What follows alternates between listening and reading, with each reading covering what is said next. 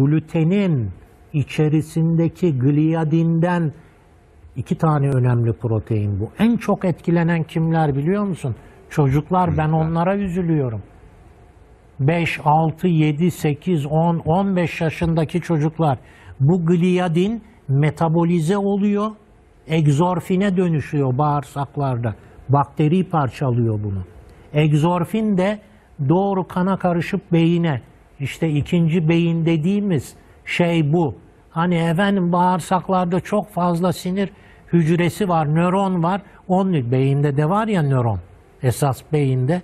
E, onun için bağırsaklara ikinci beyin demensinin sebebi bu.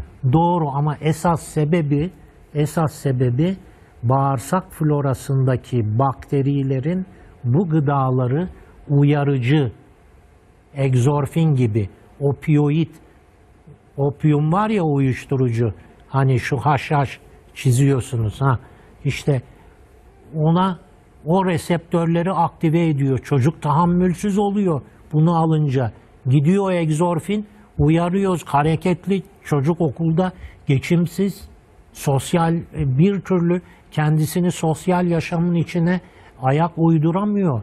Çocuk sakinleşmek istiyor, elinde değil. Olamıyor, kızmayın çocuklara.